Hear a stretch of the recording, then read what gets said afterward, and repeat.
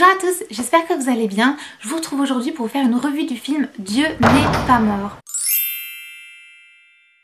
Alors dans ce film on retrouve en fait plusieurs protagonistes mais l'histoire principale c'est l'histoire d'un étudiant. Il entre en fac, donc il s'inscrit à la fac, ça se passe aux états unis et il suit un cours d'initiation, d'introduction à la philo.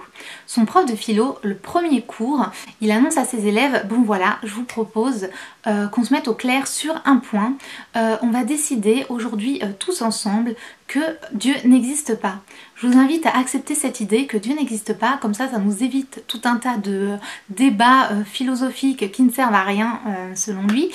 et je vous propose de signer une feuille. Vous écrirez Dieu est mort et vous signerez. Donc voilà comment ça commence. Et cet étudiant se retrouve là-dedans et il se dit euh, ok moi je suis chrétien, j'ai vraiment pas envie d'écrire sur une feuille Dieu est mort parce que bah, je ne le pense pas, je ne le crois pas. Et il se retrouve comme ça euh, confronté à cette problématique. Donc il va décider de se lever et de faire face à ce prof de philo. Et euh, il va s'en suivre toute une bataille j'ai envie de dire, le prof de philo va proposer de trois cours de faire un exposé pour euh, défendre sa position euh, par rapport à cette question. Donc il, donc il va défendre la position que Dieu n'est pas mort. Donc on va retrouver tout au long du film euh, cet étudiant face à aussi cette, euh, ce professeur euh, dans tous ces débats etc. on suit aussi donc comme je vous ai dit différents protagonistes. On suit par exemple une blogueuse qui est très très occupée, qui, qui a une vie très remplie, qui va se retrouver face à un problème.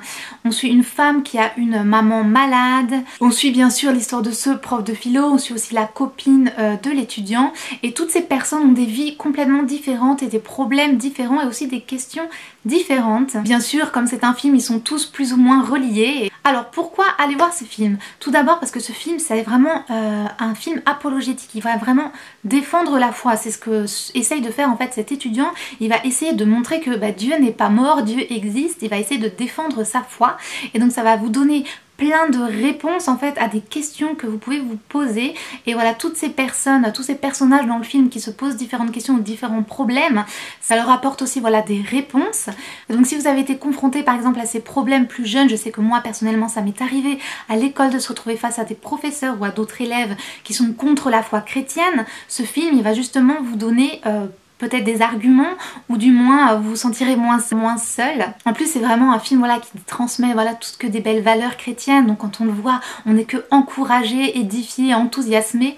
Quand je suis allée le voir au cinéma la majorité des gens je pense qui étaient dans la salle étaient des personnes chrétiennes et à la fin du film il y a des gens qui se sont levés qui ont crié oui Jésus, Amen et tout. C'était vraiment drôle de voir ça au cinéma.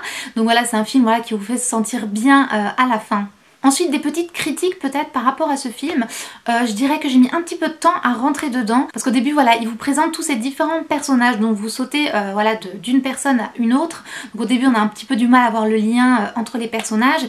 Et ça peut être un petit peu lent peut-être. La deuxième chose c'est j'ai trouvé c'était peut-être un petit peu cliché sur beaucoup d'aspects, voilà c'est un film qui a voulu être assez général, a voulu défendre un point de vue. Et donc je trouve que voilà ils sont allés un petit peu dans les clichés, voilà on a l'étudiant américain complètement stéréotypé, on a une fille musulmane, on a euh, la blogueuse euh, qui réussit, le businessman qui a tout ce qu'il veut, etc. Tout est très cliché, le prof de philo contre Dieu, voilà, c'est quand même des gros clichés. voilà, si on réussit un peu à passer au-dessus, ça montre quand même des situations complètement réelles et qui peuvent se passer, qui d'ailleurs se passent, parce que c'est inspiré en fait, vous voyez à la fin du film, ils mettent une petite, euh, petite accroche où ils disent que euh, c'est quand même inspiré voilà, de tous ces élèves, tous ces étudiants qui ont dû se battre entre guillemets contre des professeurs voilà, qui étaient complètement athées.